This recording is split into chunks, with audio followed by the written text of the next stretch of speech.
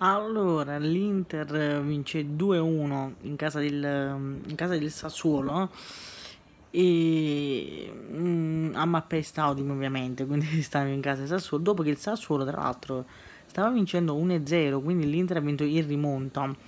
Uh, sento parlare del fatto di Diego, mm, Diego aveva fatto un partitone, è entrato a partita in corsa, ha cambiato la partita che oltre a fare gol, il primo il secondo si è procurato il rigore, che poi ha segnato Lautaro. Ma a parte quello, sento parlare tanto di Geco, sento tanto parlare di, del portiere di, di, di Andanovic che ha fatto il fallo sul giocatore del Sassuolo e per molti era da mh, mm, di espulsione, per molti es- doveva essere anche ehm, diciamo in generale fallo eccetera. Secondo me no invece. Io eh, essendo napoletana dovrei essere non di parte ma io cioè mh, mm, dico secondo me non è da, da rosso secondo me Diego perché è vero che la tocca però sinceramente Ge- ehm, Andanovic fa di tutto per scansarsi comunque cioè si toglie, non è che poi dopo puoi sparire, perché poi in fin dei conti non è che il corpo di, Diego, di Andanovic può sparire, quindi nel momento in cui fa l'uscita Andanovic lo tocca sì, però sinceramente, anzi fa il, gesto di volersi spostare, quindi non è che poi il corpo può sparire nel momento in cui tu fai l'uscita. Per me esagerando a dire, molti dicono di avere rosso, era fallo, tutto quanto, secondo me no, quindi partita vinta grazie ai cambi, grazie alla panchina, grazie alla rosa dell'Inter perché Geco ha cambiato la partita è entrato dopo 15 secondi ha segnato un gol di testa con un grandissimo assist e un grandissimo rilancio di Perisic. C'è da dire che Perisic ha fatto un partitone Perisic stava dappertutto. Ha fatto l'assist con un tiro lungo che doveva, se non la prendeva con la testa Geco poteva prenderla con i piedi perché comunque era una grandissima palla. Il rigore che c'era per l'Inter perché a differenza di Andanovic uh, Consigli il portiere del Sassuolo gli ha dato proprio un'ancata e poi ha preso la palla quindi conseguentemente c'è grandissima differenza con l'uscita di Andanovic. E io non sono una di parte perché tu dici vabbè tu interista no.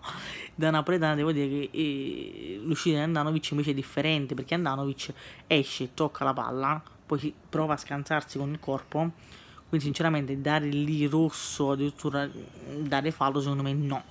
Poi ognuno ovviamente nel calcio la vede in modo diverso quindi questo è per dire delle critiche che ho letto in giro secondo me mio parere poi ognuno la vede come, come crede.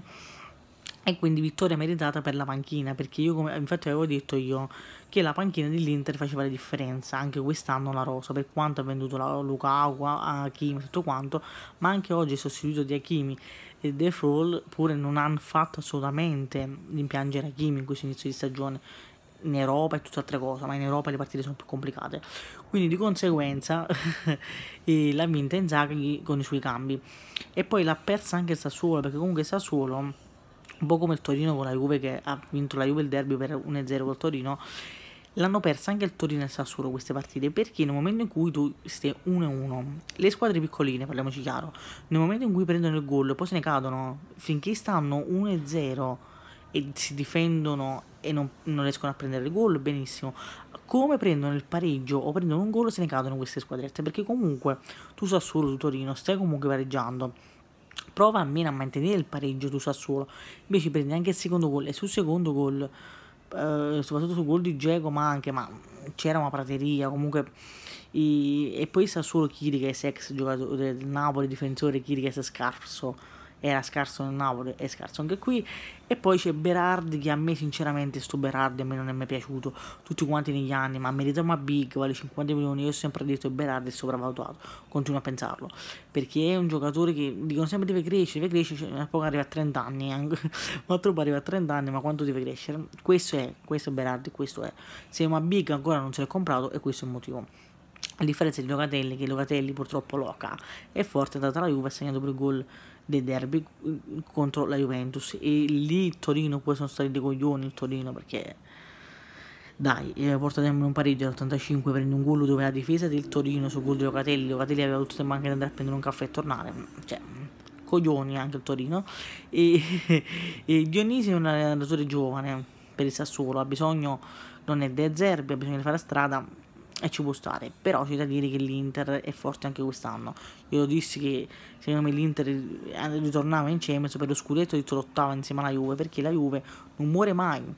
Nessuno mi credeva quando dicevo uh, la Juve quest'anno sembra di morti, uh, la Juve quest'anno ha buoni punti, e dissi se la Juve comincia a fare anche una vittoria in campionato, siamo solo alla quinta giornata, non perderà più e trova quello sprint Allegri, maestro dello scudetto, fa gol e contropiede fa, eh, fa tipo mh, mm, le squadre di Allegri così sono, fanno difesa e contropiede, scuffano il catenaccio, ripartono, non un bel gioco Allegri, però il suo non bel gioco, a volte porta risultati, vince sempre 1-0 e ti porta la pagnotta a casa tipo uno scudetto, purtroppo non è bello da vedere, ma così è il gioco di Allegri e porta scudetti e trofei, lo so, finché porta trofei tutti lo applaudiranno perché porti trofei, poi fai bel gioco e non vinci nulla e tutti quanti diranno ah ma è bel gioco ma non porti nulla e vinci il calcio purtroppo è così. Se vuoi vedere più bel gioco, ovviamente tipo l'anticalcio di Simeone, Simeone è l'anticalcio, però a volte riesce a portare risultati come ha battuto il Milan 2-1, quando li ha battuto mi sembra 2-1, sì.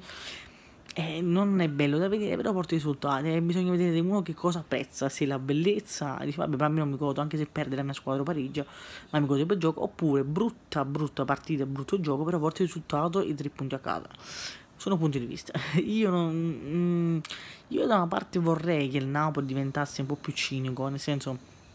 Mi piace che il Napoli gioca bello, si rifà gli occhi, bel gioco, tanti gol, ma vorrei che anche il Napoli fosse un po' più, come si dice, pulito in difesa, però i terzini sappiamo Mario lui, vabbè, se non vero, e quindi vedremo. Ci vediamo nel prossimo video ragazzi, forza Napoli sempre. Ripeto, per lo scudetto vedo sempre Inter e Juve, quelle da scavalcare, perché la Juve si si è ripresa, si è capito già, e l'Inter è quelle che ha vinto lo scudetto e c'è ancora una rosa molto forte che di Marco, poi c'aveva in panchina Kolarov e poi è entrato Correa, è uscito che non ha giocato granché, però Correa poi ce l'aveva e poi c'avevi Vidal, Vidal ha anche fatto una buona partita secondo, quando è entrato poi l'ha cambiata eh, ragazzi, la rosa lunga alla lunga è quella che ti fa vincere che i scudetti, che ti fa andare in Champions, che ti fa vincere un trofeo europeo, quello è. Ci vediamo al prossimo video, forza Napoli sempre.